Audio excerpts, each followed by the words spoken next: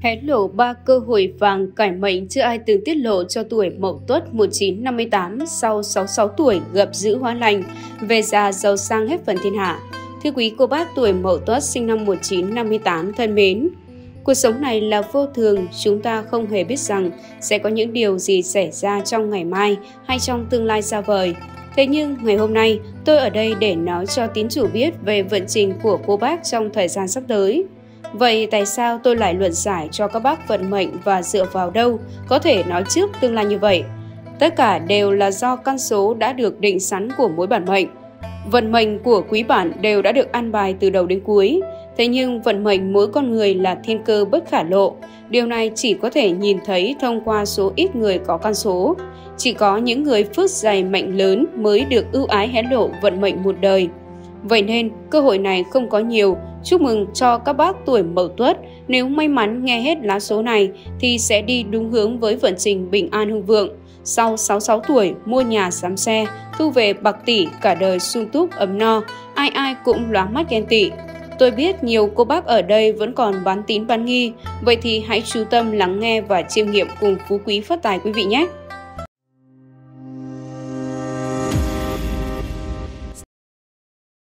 Người thuộc tuổi Mậu Tuất lúc nhỏ thường gặp phải nhiều trở ngại trong cuộc đời. Trung vận và hậu vận có thể gặp được nhiều may mắn, hưởng phúc và an nhàn. Tuy nhiên, nếu biết tu nhân tích đức, làm thiện thì được gia tăng tuổi thọ, còn nếu ăn ở gian ác thì bị giảm thọ. Tuổi Mậu Tuất hoàn toàn sung sướng vào tiền vận, trung vận và cả hậu vận. Phần công danh, tiền bạc lẫn tình cảm đều được dồi dào. Những người tuổi Mậu Tuất chính trực và thẳng thắn, Họ giàu lòng chính nghĩa, làm việc một cách công bằng, thích bênh vực kẻ yếu và chống lại kẻ ác. Không chỉ mạnh mẽ mà họ còn là người giàu cảm xúc khi sẵn sàng lắng nghe người khác tâm sự.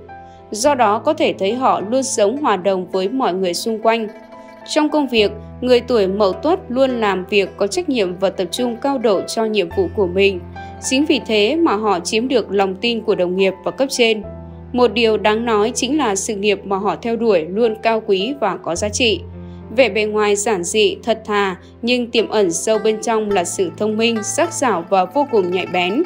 Tuổi mậu tuất, cuộc sống có chút thăng trầm, của cải có lại hết.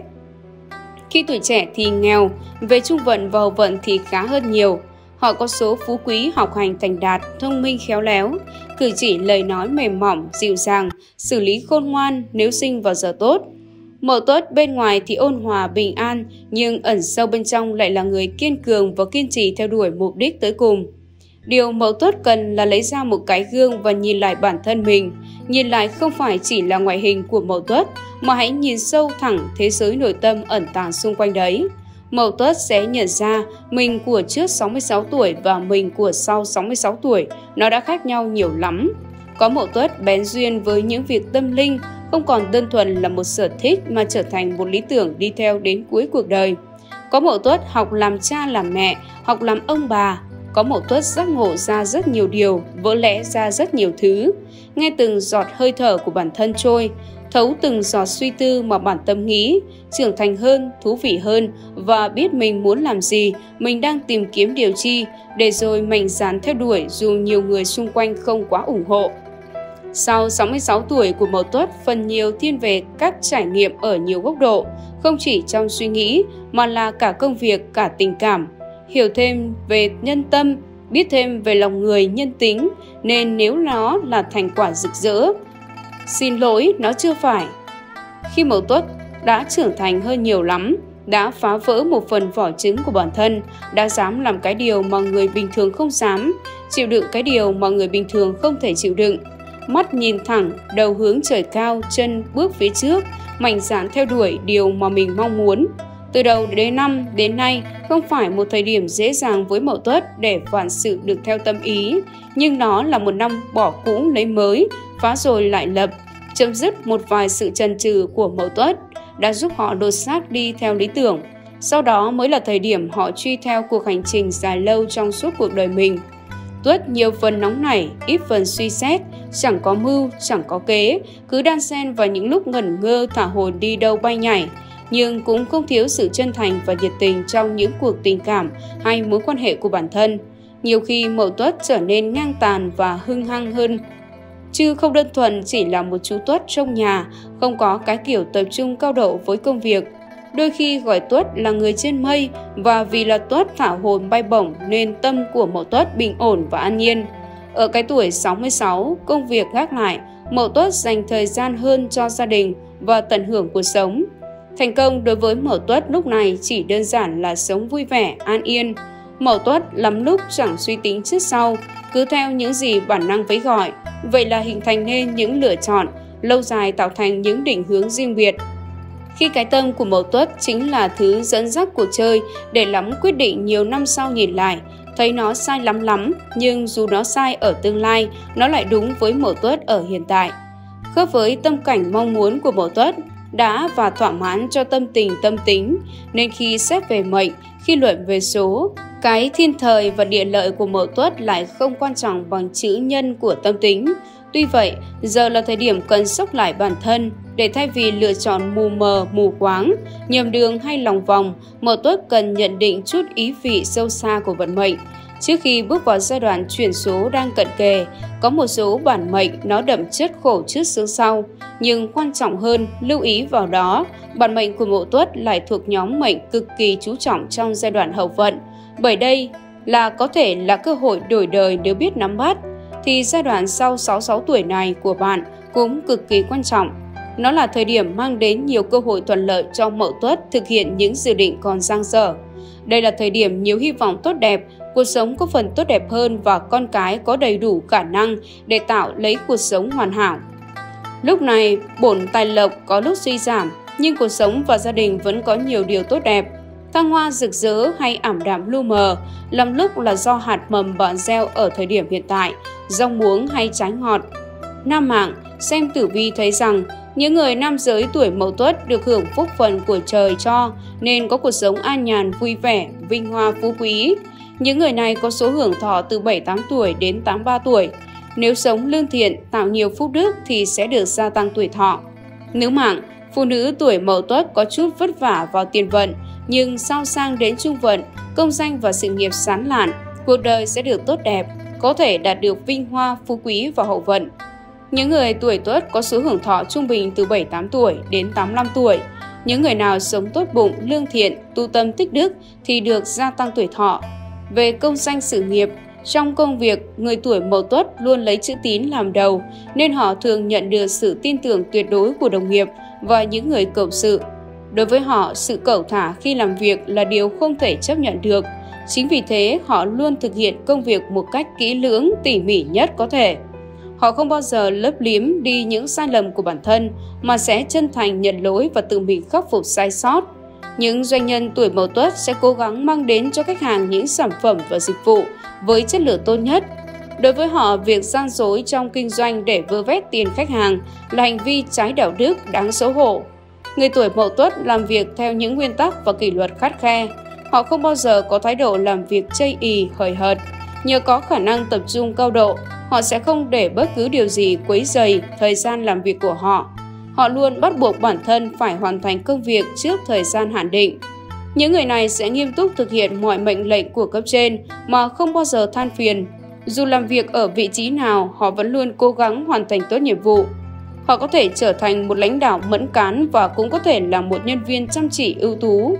Các nghề nghiệp như công an, quân đội, bác sĩ sẽ giúp họ phát huy được những phẩm chất đáng quý này. Sự chủ động và nhiệt tình cũng là một trong những ưu điểm của người tuổi mậu tuất. Khi đối mặt với những nhiệm vụ mới, họ không trông chờ vào sự giúp đỡ của đồng nghiệp. Những người này không muốn trở thành gánh nặng của cả nhóm, nên họ sẽ không yêu cầu người khác hỗ trợ. Thay vào đó, họ sẽ cố gắng học hỏi để có thể tự mình thực hiện nhiệm vụ. Bên cạnh đó, họ cũng sẵn lòng sát cánh bên các cộng sự trong những tình huống khó khăn. Người tuổi mậu tuất vừa có tinh thần độc lập cao, lại vừa có khả năng làm việc nhóm hiệu quả, dù có phải làm việc một mình hay hợp tác với người khác, họ vẫn có thể hoàn thành công việc một cách suôn sẻ. Những người này hiểu được tầm quan trọng của sự hợp tác nên họ sẽ không bao giờ lấn át những người cộng sự của mình. Họ sẽ chân thành lắng nghe và tiếp thu những ý kiến của người khác. Bằng sự khéo léo, họ sẽ cố gắng phối hợp nhịp nhàng với mọi người để thực hiện mục tiêu chung của cả nhóm.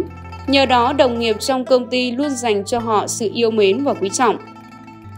Phẩm chất trưởng nghĩa, chính trực cũng được thể hiện trong phong cách làm việc của người tuổi Mậu Tuất. Nếu không may gặp phải những bất công trong công việc, họ sẽ không cắn răng chịu đựng cho qua chuyện. Họ sẵn sàng lên tiếng và đấu tranh để bảo vệ quyền lợi chính đáng của bản thân. Ngoài ra, họ cũng tự nguyện gánh lấy những trọng trách gian khổ, dù biết rằng họ có thể sẽ phải hy sinh bản thân để hoàn thành nhiệm vụ. Công việc càng nhiều thử thách càng khiến quyết tâm chinh phục của họ dâng cao. Năm hạng, ngày giờ xuất hành hợp nhất, thời điểm hoàng đạo cho việc xuất hành của người nam giới tuổi mậu tuất là giờ lẻ, ngày lẻ và tháng lẻ. Nếu xuất hành vào thời điểm trên thì mọi chuyện suôn sẻ như ý muốn, gặt hái được nhiều thành công, vận sự tất thành, đại cát đại lợi. Vật phẩm phong thủy hợp nhất Vật phẩm phong thủy như lá bùa may mắn mang lại vận may, tăng sinh khí cho thân chủ. Tuổi Mậu Tuất 1958 được Phật A Di Đà hộ mệnh. Nếu muốn cuộc sống bình an, sức khỏe dồi dào, con cháu thành đạt thì nên làm nhiều việc thiện, đồng thời đeo mặt Phật bản mệnh A Di Đà để được Đức Phật chứng giám lòng thành, phúc đức muôn đời. Nữ mạng, ngày giờ xuất hành hợp nhất, người nữ mạng Mậu Tuất xuất hành vào giờ lẻ, ngày lẻ và tháng chẵn là thích hợp nhất. Xuất hành vào thời điểm hoàng đạo này sẽ được quý nhân phù trợ, gặp nhiều may mắn, công việc được suôn sẻ, thu về nhiều tài lộc. Vật phẩm phong thủy hợp nhất, quý bạn nên sử dụng vòng tay đá phong thủy hoặc đeo Phật bản mệnh. Những vật phẩm này có tác dụng cải thiện vận khí cho chủ nhân, gia tăng sự may mắn trong công việc và cuộc sống hàng ngày. Tuổi Mậu Tuất 1958 được Phật A Di Đà hộ mệnh. Mang mật Phật bản mệnh A Di Đà bên mình, tựa như có lá bùa may mắn trong tay, giúp thân chủ an nhiên tự tại trong cuộc sống, phát huy tối đa năng lực trong công việc để tiến tới thành công. Tình cảm Trong bất cứ mối quan hệ nào, người tuổi mậu tuất cũng tỏ ra nghiêm túc, đáng tin cậy. Họ luôn trân trọng các mối quan hệ hiện tại bằng cách đối xử với mọi người quen, biết với thái độ chân thành. Họ có xu hướng bị thu hút bởi những người có nhiều điểm tương đồng với họ về tính cách và sở thích. Nếu người ấy cũng thích tham gia các hoạt động ngoài trời hoặc những chuyến du lịch thì lại càng tuyệt vời đối với họ. Với nội tâm kín đáo, người tuổi mậu tuất rất ít khi bộc lộ tâm tư của bản thân. Dù có tình yêu mãnh liệt với đối phương, nhưng họ vẫn phải mất một thời gian dài mới dám thổ lộ tình cảm. Khi đứng trước người mình yêu, họ sẽ cảm thấy ngại ngùng vô cùng rụt rè. Nhược điểm này khiến họ khó có thể theo đuổi tình yêu đích thực của đời mình. Dù có vẻ bề ngoài lạnh lùng, nhưng thực chất, người tuổi mậu tuất là những người giàu tình cảm, Họ là một người tình dịu dàng, luôn sẵn lòng lắng nghe, thấu hiểu những tâm sự của người yêu. Khi yêu được người tuổi mậu tuất, người ta sẽ không bao giờ phải lo lắng về tấm lòng trung thủy của họ. Sự phản bội và lừa dối trong tình yêu sẽ khiến lương tâm họ cắn rứt, nuối tiếc khôn nguôi. Khi đã yêu say đắm, họ sẽ không ngần ngại trao hết cho người yêu những điều họ đang có. Tình yêu của họ dành cho đối phương là chân thành, trong sáng không hề nhiễm chút toan tính vụ lợi. Người tuổi mậu tuất không có ham mê với tiền tài và danh lợi. Cuộc sống an bình bên mái ấm gia đình mới là điều họ vẫn luôn mơ ước. Đối với họ, gia đình còn đáng trân trọng hơn cả sự nghiệp. Vậy nên dù có bận rộn đến mấy, họ vẫn cố gắng dành thời gian để chăm sóc cho những người thân yêu. Hôn nhân của những người tuổi mậu tuất rất bền vững bởi họ luôn dành sự tôn trọng và trung thủy tuyệt đối với người bạn đời của họ. Trong mắt con cái, họ là những ông bố, bà mẹ mẫu mực và cực kỳ tâm lý. Nội tâm kín đáo quá mức của người tuổi mậu tuất có thể gây ra phiền muộn trong cuộc sống hôn nhân. Họ ít khi dành cho người thân những cử chỉ âu yếm lãng mạn. Bên cạnh đó, dù có ghen tuông hay không hài lòng về điều gì, thì họ cũng sẽ giữ kín trong lòng chứ không nói thẳng với mọi người. Để rồi đến khi những cảm xúc trong lòng họ bộc phát thì hôn nhân của họ sẽ đứng bên bờ vực thẳm. Nếu họ không học được cách thoải mái chia sẻ tâm tư với vợ hoặc chồng thì mối quan hệ của hai người sẽ càng ngày càng lạnh nhạt. Những cô nàng tuổi mậu tuất có cá tính hoạt bát, vui vẻ nên luôn được mọi người yêu mến. Họ rất kỹ tính trong việc chăm chút bản thân. Họ luôn ăn mặc gọn gàng, trang điểm cẩn thận để trở thành người đẹp nhất trong mắt người yêu. Nhờ vào linh cảm nhạy bén, họ có thể nhanh chóng tìm được chân ái của đời mình. Gia đình của người phụ nữ tuổi mậu tuất luôn hòa thuận và tràn ngập tiếng cười. Họ luôn là người chủ động đứng ra hòa giải sự mâu thuẫn giữa các thành viên trong gia đình. Phụ nữ tuổi này sẽ chỉ dành tình yêu cho người chồng cho đến khi đầu bạc sang long. Họ là người mẹ vị tha sẵn lòng hy sinh bản thân để con gái được hưởng những điều tốt đẹp nhất. Những chàng trai tuổi mậu tuất thường bị cho là người khô khan trong chuyện tình cảm. Trên thực tế, họ luôn dành cho đối phương tình yêu thương vô tận, chỉ là họ ít khi bộc lộ điều đó. Chỉ cần đó là người mà họ yêu thì họ sẽ chấp nhận hết mọi khuyết điểm của người ấy. Đàn ông tuổi mậu tuất coi gia đình là điểm tựa vững chắc, giúp họ trụ vững trước những sóng gió của đời. Những người thân yêu sẽ là nguồn động lực để họ nỗ lực trong sự nghiệp. Họ là người đàn ông của gia đình, luôn mang đến cảm giác an toàn đáng tin cậy cho vợ và con gái. Sức khỏe Người tuổi mậu tuất sức khỏe rất tốt, tuy nhiên lại thường mắc các vấn đề về gan. Gan đóng vai trò chủ đạo trong việc điều tiết âm dương nóng lạnh, điều tiết máu.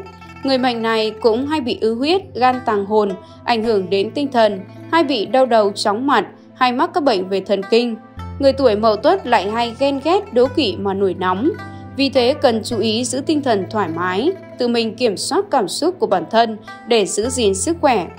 Vận trình lưu niên người tuổi mậu tuất 1. Tuổi mậu tuất gặp năm tý Người tuổi mậu tuất có thể sẽ gặp phải nhiều điều không như ý muốn trong năm nay, đặc biệt trên phương diện tình duyên. Vợ chồng thường xuyên mâu thuẫn với nhau, quan hệ đôi bên lúc tốt lúc xấu, cần lưu ý kẻ thứ ba xuất hiện. Phương diện sự nghiệp, tài lộc có khá khẩm hơn, song bạn làm gì cũng vẫn cần cân nhắc kỹ càng. 2. Tuổi mậu tuất gặp năm sửu Vận trình của bản mệnh tiếp tục có dấu hiệu đi xuống trong năm này. Với người làm ăn kinh doanh, bạn cần đặc biệt thận trọng với nguy cơ có kẻ tiểu nhân quấy phá, hành sự chứa nên nóng nảy, hay nói ít làm nhiều để đỡ vướng hỏa thị phi.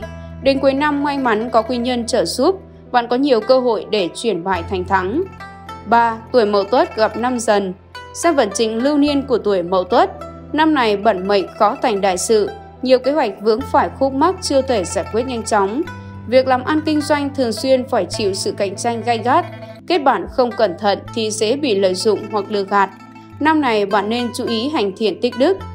4. Tuổi Mậu Tuất gặp năm Mão. Năm này được chính quan soi chiếu, bản mệnh gặp đại cát đại lợi, đặc biệt là trên phương diện sự nghiệp, nhiều người có cơ hội thăng quan tiến chức. Phương diện tình duyên thì cần cẩn trọng hơn, đặc biệt là với những người đã có gia đình, chớ vì một phút ham chơi mà hủy hoại hạnh phúc, danh tiếng và sự nghiệp bản thân. 5. Tuổi Mậu Tuất gặp năm Thìn Năm này vận trình của bản mệnh lên xuống khá thất thường, việc làm ăn kinh doanh có biến động khá rõ rệt. Bạn cần phân biệt rõ đâu là cơ hội và đâu là nguy cơ để đưa ra những sự lựa chọn đúng đắn. Đồng thời, con giáp này cũng cần hoàn thành cho tốt các nhiệm vụ còn dang dở, như vậy ắt thu được lợi ích đáng mừng. 6. Tuổi Mậu Tuất gặp năm Tỵ. Xem vận trình lưu niên của tuổi Mậu Tuất, năm Tỵ, người tuổi Mậu Tuất có chức có quyền, cần chú ý giữ mình trong sạch, không nên tham lam kẻo vướng họa thị phi. Nửa cuối năm có tử vi cát tinh soi chiếu, bạn gặp nhiều điều cắt lợi hơn, có thể nhanh chóng bắt tay vào các công việc lớn. Việc cầu tài, lộc khá thuận lợi, đối tác đáng tin cậy, đối thủ giảm bớt. 7. Tuổi Mậu Tuất gặp năm Ngọ. Năm này tài lộc của bản mệnh đại phát, bạn làm đâu tháng đấy nên có thể thu về nhiều khoản kha khá. Tuy nhiên sức khỏe có dấu hiệu xuống dốc, chú ý không nên lao động quá sức. Điều cần lưu ý trong năm là tránh xa các mối quan hệ bạn bè, người thân độc hại, những kẻ ghen tị với thành công mà bạn đạt được. 8. Tuổi Mậu Tuất gặp năm Mùi. Căn cứ vận trình lưu niên của 12 con giáp, kiếp tài chiếu mệnh, bản mệnh thường xuyên rơi vào cảnh lao tâm lao lực nhưng thành quả lại chẳng được bao nhiêu. Họa thị phi cũng xuất hiện liên tục khiến bạn dễ vơi vào cảnh mệt mỏi căng thẳng. May mắn cuối năm có các tinh xuất hiện, sự nghiệp ổn định hơn, hoàn lại, cũng có dấu hiệu giảm bớt. 9. Tuổi Mậu Tuất gặp năm thân, xem vận trình lưu niên của tuổi Mậu Tuất thấy rằng nếu con giáp này chịu bỏ công sức ra lao động thì ắt không phải lo đến chuyện chi tiêu, thậm chí có nhiều cơ hội kiếm tiền tự tìm đến cửa. Nếu muốn mưu đại sự thì bản mệnh cần nhắc mọi khía cạnh kỹ càng, không nóng vội, hành xử lỗ mảng. 10. Tuổi Mậu Tuất gặp năm Dậu. Năm Dậu là một năm khá vất vả đối với con giáp này bạn muốn gặt hái được thành công trên sự nghiệp thì ắt phải bỏ nhiều công sức, thậm chí gây ảnh hưởng đến sức khỏe. Năm này bạn nên biết hài lòng với những gì mình đang có, thuận theo tự nhiên, trở nên cố gắng giành lấy những gì không thuộc về mình. 11. Tuổi Mậu Tuất gặp năm Tuất Bạn mệnh có thể gặp được khá nhiều cơ hội để khẳng định bản thân, gây ấn tượng với lãnh đạo trong năm này. Bạn cần giữ bình tĩnh để phát huy và nắm bắt cơ hội Tuy nhiên, trong năm sức khỏe có dấu hiệu xuống dốc, bạn thường xuyên mắc phải bệnh nhẹ, vì vậy cần chữa trị kịp thời, đồng thời chú ý đến việc rèn luyện thể dục thể thao. 12. Tuổi Mậu Tuất gặp năm hợi Muốn gặt hái được thành công trong năm hợi, người tuổi mậu tuất chớ nên giữ những tư duy cũ kỹ của mình và đi theo lối mòn. Bạn cần phải dám mạo hiểm, dám thử thách bản thân để tìm ra hướng đi mới.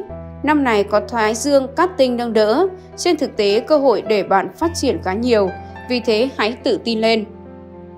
Vận mệnh tuổi Mậu Tuất với tháng sinh, sinh vào tháng 1, người tuổi Mậu Tuất sinh tháng 1 tốt về đường sức khỏe, ít mắc phải bệnh vặt. Họ chất phác, thật thà và rất biết cách cảm thông cho người khác. Nếu họ muốn làm nên nghiệp lớn thì cần thêm một chút nhạy bén và dám mạo hiểm. Sinh vào tháng 2, họ tự tin làm chủ cuộc sống, biết được thế mạnh của mình nên không bao giờ rụt rè e sợ. Tuy nhiên, người sinh vào thời điểm này nên biết tiết chế lời nói, tránh để người khác hiểu nhầm đang khoe khoang tự tin thái quá. Sinh vào tháng 3, tuổi Mậu Tuất sinh tháng 3 tinh tế khéo léo, biết dẫn dắt và làm chủ cuộc đối thoại. Đường công danh thuận lợi, vận đào hoa lại càng vượng hơn nữa.